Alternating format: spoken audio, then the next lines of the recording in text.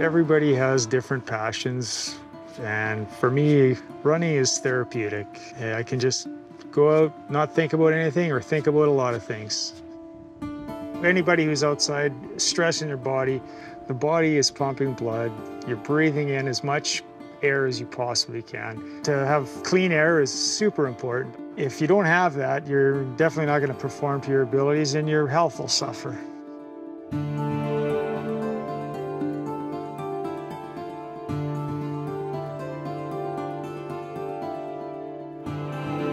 It's a lot like detective work, solving a little mystery to find unexpected things and then trying to figure out, okay, why is that happening? And it's kind of neat to see it in the data. First stations we established were in and around the project site. Later on, we expanded it out around the marine transportation route, all the way out to Triple Islands. When we went in and studied the soils and the vegetation, what we found was nitrogen and sulfur that can contribute to acid rain. We're really located down around the industrial area south and west of Kitimat and did not extend to the north. What about feedback from the public or others? Did you actually expand your study program? The public input was really helpful in choosing some of the specific sites. Some of the lakes up here specifically were due to Aboriginal input.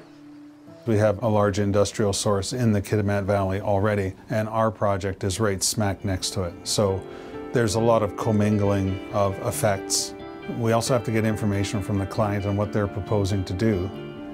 And then we use our experience with like projects to say, okay, what, what potential concerns do we have? Past industry may not be the best example of industry moving forward. As a new industry, it's good for us to come in with those issues spoken as opposed to getting in place, building and then find out that somebody has concerns with what you've done. With the more robust rigor that's going on right now in the review process, we'll address all of these concerns so that the design and everything else addresses these things before they're actually built. The air quality, they can't guess at what the levels will be. They have to be certain.